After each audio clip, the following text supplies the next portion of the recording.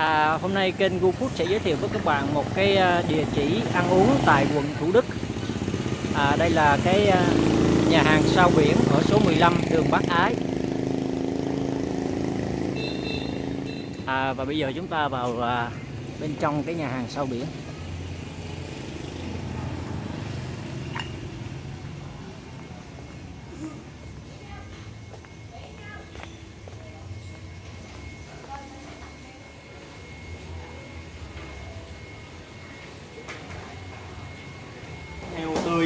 Làm xong mình lóc bỏ đi cái thịt bỏ đi cái thịt ha lấy thịt thôi lấy thịt không bắt đầu mình mình, mình xối nước sôi. Để ờ, để cho cái da nó săn lại để mình nướng cho nó giòn á. Heo này là heo gì ha? Heo này là heo bội người ta kêu là heo tộc á. Giờ ta kêu heo tộc không có kêu heo cái bội. nguồn thịt này ở đâu anh? Cái nguồn thịt này là nguồn tươi tươi sống ở những cái trang trại có ờ, kiểm dịch đàng hoàng luôn. Nhưng mà ở, ở trên địa bàn thành phố hay là tỉnh tây nguyên? Ở ở ở ở ờ, ở ngoài ngoài tây nguyên á. Đất nông. Chính xác là đất nông. À, cái bước này là mình đang làm gì đây? Anh? mình đang ờ, xối nước sôi cho cái da của heo nó săn lại. Thường thường là heo nướng da giòn là mình phải xối bằng nước sôi. Đây là bước đầu tiên của Ừ. heo nướng da mình đợi cho nước cái đợi cho nó nó, nó nước nó sôi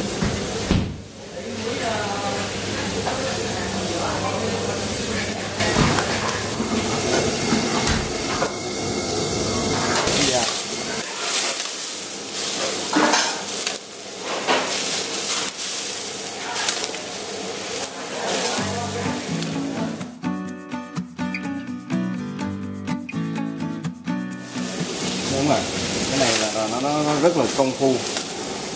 Mục đích của mình à, xối nước sôi lên cái cái à, thịt à, heo mòi này là để cho nó săn chắc phải không anh? để cho nó săn cái da lại để nó nó nó, nó tạo cho cái cái cái cái, cái, độ giòn á. Nó cái này nó cũng là một phần để để cho cái cái, cái da nó giòn nữa. Một lát nữa mình sẽ có một cái gia vị để xối lên đây để đi màu. Màu thì giúp da da nó giòn. Còn nếu mà mình ờ, chỉ chỉ có cái gia vị đó không mà không xối như vậy là nó cũng không giòn được Vậy mình xối cái nước sôi này trong vòng bao lâu anh hả? thì ờ, chắc khoảng ba bốn phút. 30 phút. Nếu mình xối càng kỹ thì nó càng ngon thôi nhưng mà không có nên cũng không nên kỹ quá. Rồi giờ xong rồi đó. Xong cái chanh mình xối lên để mình làm ờ, lấy lấy màu. Lấy màu của da giòn Đây là mật ong với chanh. ừ. mà không với, với đặc biệt của mình ờ, nói chung là tạo cho cái hương vị nó thơm á nó đậm đà á bí quyết riêng của quán này. Đây là bí quyết riêng. Lên tạo ra những đậm đà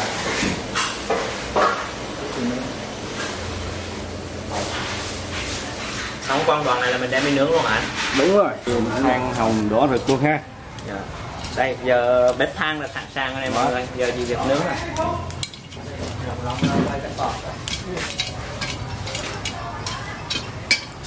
than đỏ rực rồi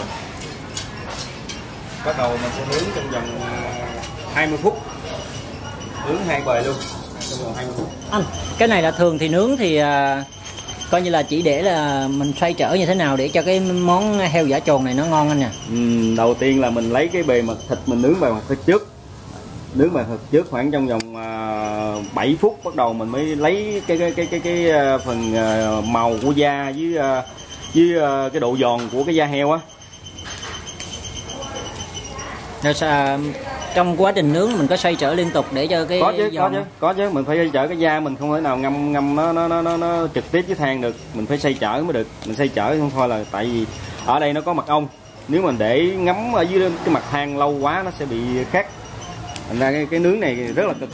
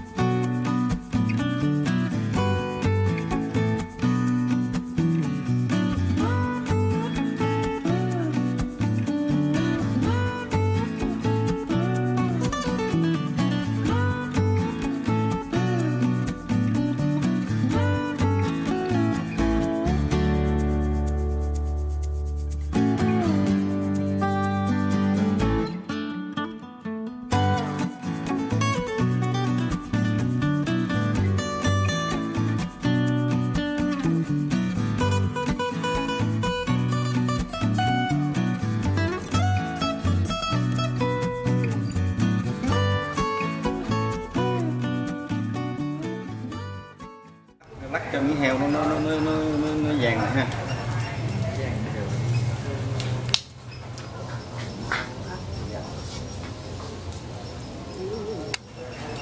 Bây giờ là lên dĩa rồi đó anh hả?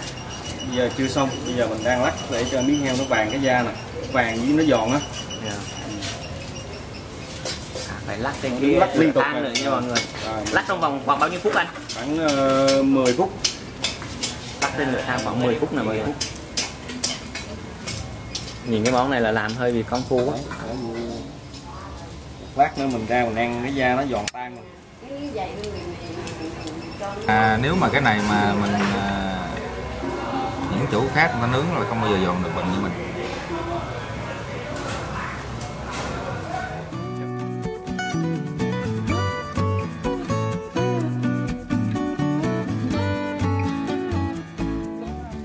Ha đây là món gà nổ mới hột tại quán sao biển ha. Số 15 bác ái của đức nha. Đó, nguyên liệu là có gà là gà ta. Gà ta chạy bộ nha gà chạy bộ là gà bến tre này là gà bến tre. Chuyên sống ở các ờ, vườn dừa nha. Nhìn thấy ờ, hồng hào không? Thấy ờ, vàng ươm không? Đấy gà tầm ký tư đến ký rưỡi. Rồi. Còn lớp muối này á, là mình sẽ chảy một lớp muối dưới son chảy đều một lớp muối nó, nó muối là khoảng một lóng tay nè.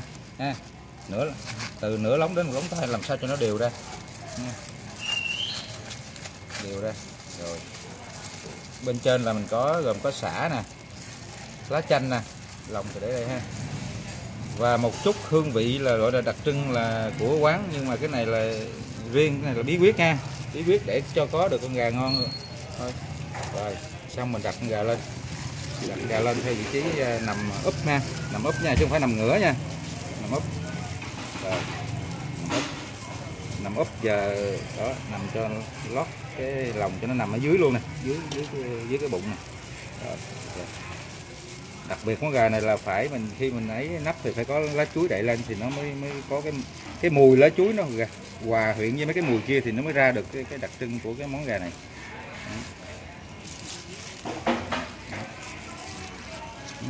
Là anh thường thường mình làm trong bao lâu anh? mình làm như vậy thì khoảng trong nửa tiếng. Phải nấu lửa trong nửa tiếng. Lửa vừa thôi không có lửa cao nha trong nửa tiếng. Nửa tiếng xong trong nửa tiếng xong rồi thì mình phải để đó yên đó không nhỏ nắp ra trong 15 phút nữa. Thì con gà nó mới ngon.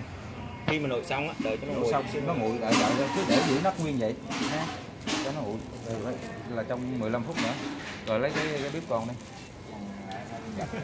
Đó phải dần lại ha không? Cái này không? Cái, cái nào giật nào nặng được rồi. Sao cho nó kín hơi này thôi. Nha rồi cho nó nặng nó nặng nó đè xuống nó kín hơi nè. Đó. Rồi. Trong 30 phút xong là vẫn để tắt lửa xong là vẫn để nguyên vậy. Cho khi đến 15 phút nữa thì bắt đầu nó mới ngon được. Trong cái lúc mà nó nổ thì nó nghe tiếng động ha không nó bình nó nhưng mà khi mà nó nổ gần chín rồi nó rất là thơm.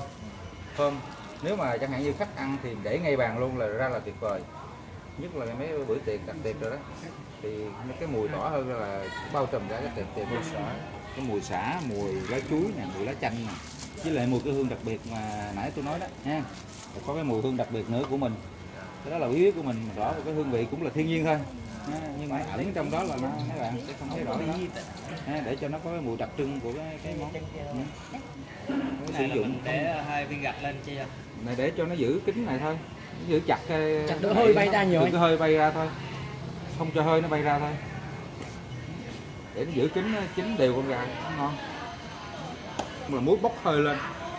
Muối bốc hơi lên xong là mới nó, nó mới dính vào cái thịt nó thấm vào cái thịt của con gà. Cho nên ăn cái độ ngọt nó rất là đậm đà. Mặc dù không có ướp gia vị gì hết hoàn toàn không có không có gia vị gì hết. Con, con gà ăn vậy rất là nè. Rồi sau khi mà sau khi mà làm xong rồi đó, thì lấy chính cái muối đó đó, muối hột của dưới, nằm dưới đó, nó nó có nước, gà nó rớt xuống đó, mới đâm với lại ớt sừng trâu. Sừng trâu thì nó mới ra, nó mới ngọt. Cái muối đó là rất là ngọt, bởi vì nó là nước ờ, thịt, nước ngọt của con gà ra. Cái muối đó thì mình lấy cái muối đó mình chấm, là ăn rất là tuyệt vời và sẽ có một buổi nhậu rất là ok.